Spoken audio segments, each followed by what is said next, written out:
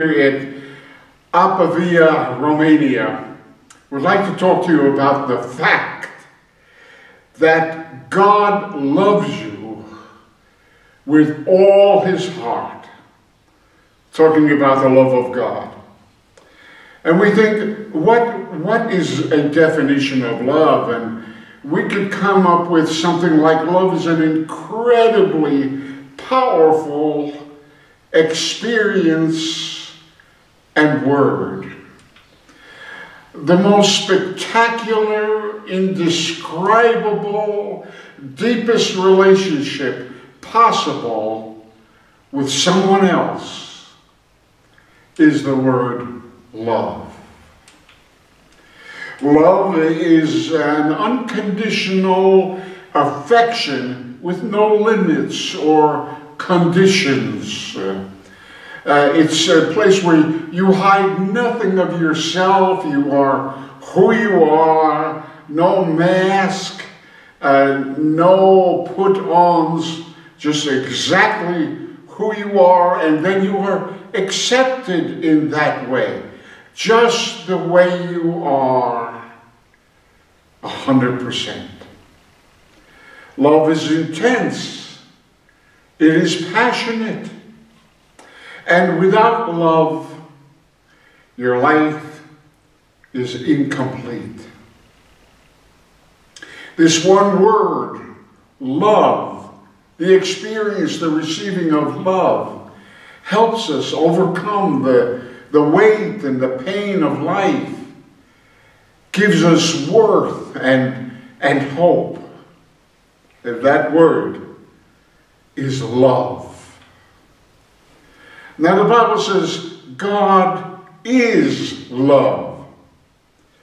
Now it says God is light and uh, some other things, but here it's God is love. It's the very fabric of who He is.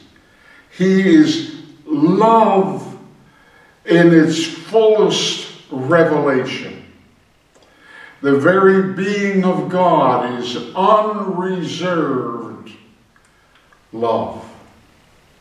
From eternity past, God has loved with all his heart and strength, 100%. And that is how the Father loves the Son, the Lord Jesus, and how the Son loves the Spirit, the Godhead. 100% fullness of love between uh, each other. Now, the Bible never says that God is power or God is knowledge or God is wisdom. He has those things, but He is more than that. These things probably come under the meaning of love. God is love. Now, the only way that God can love is with all his heart. Scripture never says anything less. The Father loves the Son with all his heart. The Spirit loves the Father and the Son in, in the same way. Total, unreserved, passionate, deep, total love and nowhere in the Bible does it say, well, God loves a little bit, or God loves, well, you know, you don't deserve the whole thing, 100%, uh, full octane love. So God only loves you with half of his love, or even three quarters of his love. It never happens because the only way that God can love is a hundred percent because that's who he is. And he will always be who he is. And he is 100% love. In the beginning of the revelation, God reveals, God speaks, for God so loved the world that he gave his only begotten Son. And it speaks about uh, our love uh, for God in uh, scripture, Romans 5 and 5, because the love of God is shed abroad in our hearts by the Holy Ghost, which is given unto us, into us. In other words, God the Spirit, when He comes to indwell within us, He brings with Himself the unmitigated, full octane, passionate, ultimate expression of love. In fact, uh, God uh, even uh, wants us then to, to reflect that love towards others and also to ourselves. Uh, in Matthew, it says, you know, thou shalt love thy neighbor. How? Like you love yourself. What does that mean? It means you should love yourself. And when you see yourself as God sees you, you will love yourself. In fact, uh, our, our, love for others is, is, is, is a, you know, you're, you're going to love your neighbor just like you love yourself. So the measure, the indescribable, unthinkable measure of how God loves you and me is to me is unthinkable. It's unfathomable. I, I have difficulty wrapping my head around it, but I'm daily accepting it. Is God loves us. God, the, the Father loves us in the same way that the Father loves his Son. Unthinkable. In other words, as, as the Father loves the Lord Jesus Christ, the Son of God, as that love, that indescribable love of God for, the, for his Son. He loves us in the same way, in the same degree, in the same passion, in the same full acceptance. Amazing. And uh, Jesus goes on to say, As the Father hath loved me, so he, Jesus, also loves us. So we have the, the love of the Father, the love of the Spirit is brought to us as the Spirit of God infills us, and we have the love of the Lord Jesus Christ. That God loves us with the same intensity that God the Father loves the Son. And it goes on to explain this immeasurable, unthinkable, unfathomable love of God that Jesus says that the world may know that thou hast loved them. This he's talking about the world.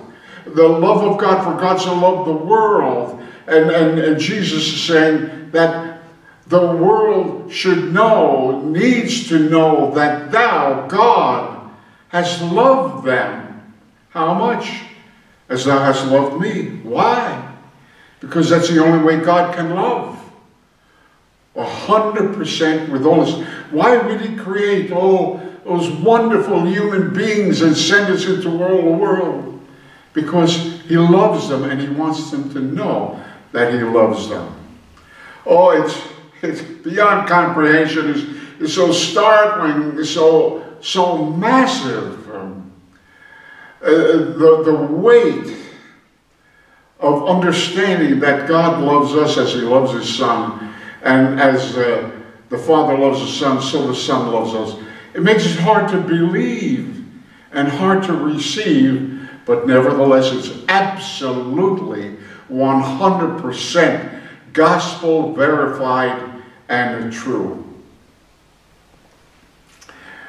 For both Father and Son, their love for us is compared to the way they, they love each other.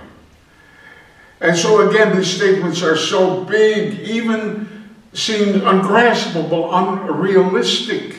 It's like out of our, the, the, the dimension of our understanding, out of our reach.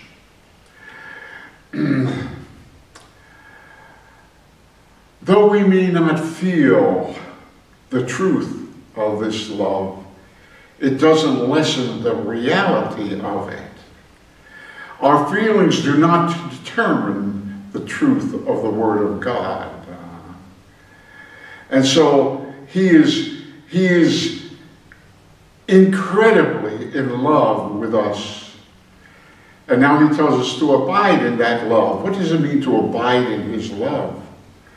Well, I, I would think it, it means to, to uh, think about it, meditate on it, um, dwell in it, read scriptures, study about it, because his love is eternal in duration.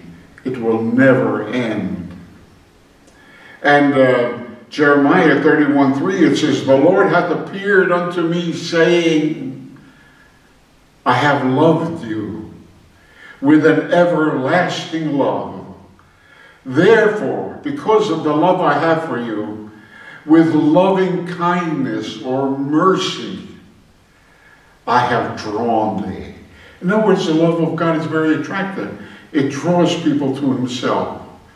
Now, when we, when we fail, he does not love us less. He cannot. But we experience his love less. Yes, God is grieved at times with some of the things that we do, think, and how we behave. The Bible says that the Holy Spirit is, is also grieved, much in the way that, you know, a parent who, who loves their teenager sometimes may be grieved by their, their teenager's life and still fully engaged in that love for the son or the daughter. And if we can know our wayward kids, how much more can God do it with us? And so there's a cause and result here uh, because we will only love God to the measure that we see his love for us. Uh, the Bible says we love him. Why? Because we understand, parentheses, that he first loved us. So our love for him is based on studying, apprehending, understanding, grasping his love for us. And hereby we know the love of God and looking for the mercy of our Lord Jesus Christ. And the more we worship and the more we will understand his love more. And Jesus says, These things I have spoken unto you. What? About the love of God. That your joy might be full. That you might understand that you are not rejected. You are not thrown out. You are not excommunicated or anything of that, that nature. But God loves you deeply, passionately, and is, is pouring his love in your direction so that you'll come home, come back to him. All the dimensions of this love. Paul gives four dimensions of his love. He speaks about the width and the length and the depth and the height. And if we look at each one of these individuals, we talk about the width, that he, he, he, he loves for all people. It's all inclusive, all personalities, all uh, tribes and tongues and nations. And his, his love is wide enough for total acceptance and inclusion. And the it speaks of reaching far beyond our failure and the depth of our sin and deprivation. He reaches beyond that. There's a song he said, He reached down his hand for me. And his hand is, should we say, long enough to reach us wherever we may be and the depth. Whatever the depth of our failure, the depth of our sin, the, the, the, the, the depth of our difficult situations, it's included, and the height of his love. how highly he has exalted us because he loves us that much. He created us greater than the angels. And the natural man, we naturally uh, feel have shame. We naturally uh, feel rejection. Naturally, we seem to have a, a dull spiritual sensitivity. But our, our emotions are not the authority of the Word of God. We may feel the truth of these, but it does not lessen the reality of our weaknesses and failures and sense of them. And as in life, in the same way, the Father hath loved me, so the Lord Jesus Christ has loved you. And he says, abide there, stay there. Don't let circumstances or difficult things drive you away from the magnificence of his love. Stay focused on his love. Live in it. Go deep in it. Search it out. Talk about it. Pray about it. Press on. Do not be content until you are growing in the knowledge and the experience of this wonderful love of the love of God. And John, in his writing, you see, he, he does an exclamation point. He says, Behold, check this out. Look at this wonder, this spectacular thing that the manner of love the Father hath bestowed on us. Amazing. And so the word behold means, you know, something see, observe, view, watch, survey, gaze upon, contemplate, discern, perceive, consider the love of God. When he says, Behold the manner of love of God, he is saying, in essence, stand in awe, try to comprehend. He never changes in any of his attributes ever. And thus, we never for one moment does God love you less than 100%. He never diminishes in that love. He never grows in that love because he is who he is. And he always was, is, and always will be who he is. And God is love. Jesus will never say, I grew in love in the last million years. Why? Because there's always fullness of the love of God. So abide in that love. Focus on that reality. Never, never more veer from the focus of that truth. Be a student of the love of God. Search the mystery of the love of God. When negative emotions come, give the Word of God more authority than your emotions. Even though it's hard to believe, it's not difficult to believe that God loves believers in heaven. The difficulty is believing that He has 100% love and affection for weak people like me. May I include you and us? Weak people. God revealed the uh, enjoyment of the prodigal son in the Father in giving him his best robes.